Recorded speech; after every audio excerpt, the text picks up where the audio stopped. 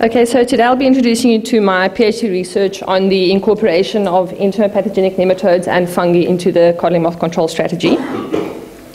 So the codling moth is one of the most successful pests in the world and is also a very adaptive pest, making it very difficult to control as it's been exposed to a variety of environmental and climatic conditions.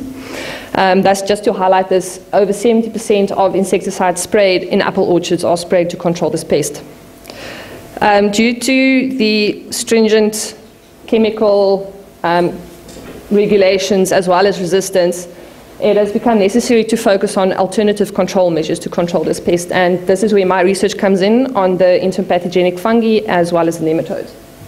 Both of these organisms naturally occur within the soil and are thus environmentally friendly and are also compatible with um, a range of IPM techniques as well as the spray equipment that is currently used in orchards.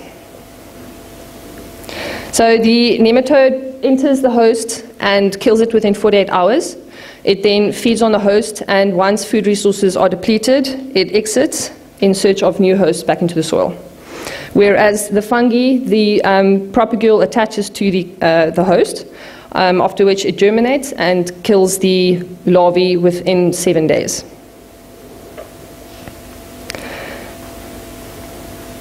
So we collected soil samples around apple orchards in the Western Cape. The soil samples were then brought back to the lab and then baited with insects. They were then inverted and uh, we monitored the samples daily. The cadavers were then removed and if it's suspected that the insect was killed by a nematode, they were placed on white traps. Um, and then the nematodes will then move into the water surrounding that white trap, and then that water is then harvested and stored for future use. If suspected that it was killed by a fungus, it was placed onto agar and then also stored for future use.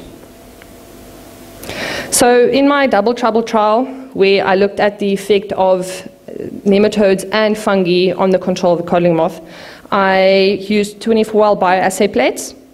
The uh, 50 larvae were used per treatment, and we dipped the larvae in the fungal suspension and then placed them in closed plastic containers at 25 degrees Celsius and monitored them for up to seven days. Mycosis proved that it, this was positive control by the fungus. If there was no mycosis or growth of another organism, we uh, regarded this as natural death.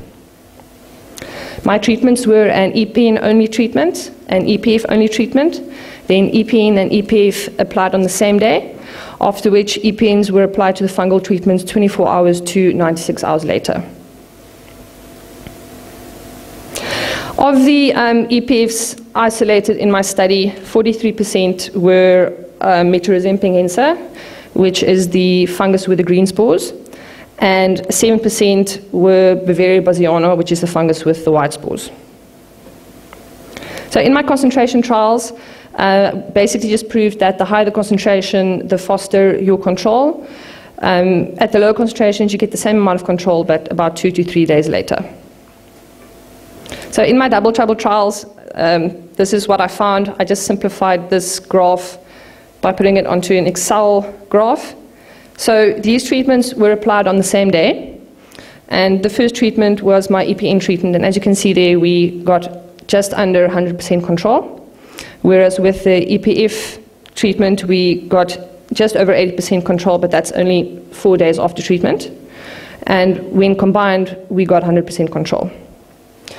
So in the treatments where I applied the fungus first, I got only 20% control.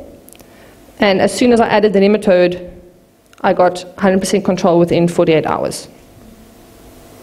Then I looked at pupae, and what was interesting was that my fungal treatment alone was more effective than when combined with an EPN, as the fungal treatment resulted in 80% control, whereas when combined with the EPN, it, they seemed to have an antagonistic effect and um, only resulted in 60% control. So to conclude regarding larvae, the um, Beauveria and Steinernema jeffreyense nematode seem to work together synergistically or additively.